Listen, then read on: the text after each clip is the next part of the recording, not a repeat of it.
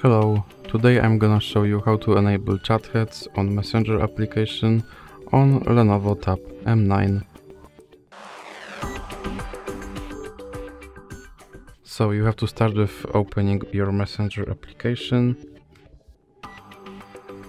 Now click here and then go to settings. Now you have to click here to enable chat heads and you can click here to go to settings to allow your application to display over other applications.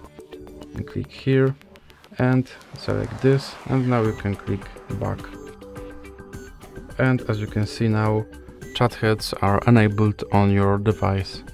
So that's it for this video. If you liked it please remember to leave like and subscribe